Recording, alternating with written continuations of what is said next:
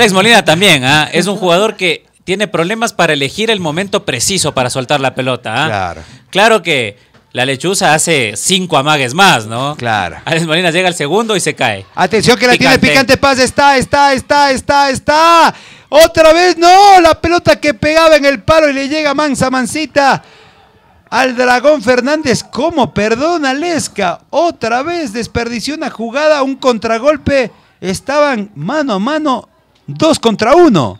Sí, aquí podemos ver en la repetición. Incluso pudo asociarse con su compañero, decidió llevarse. Y ahí, mira el poste, Ay, cómo ay, le salva a la verde. Estuvo cerca de la cuarta.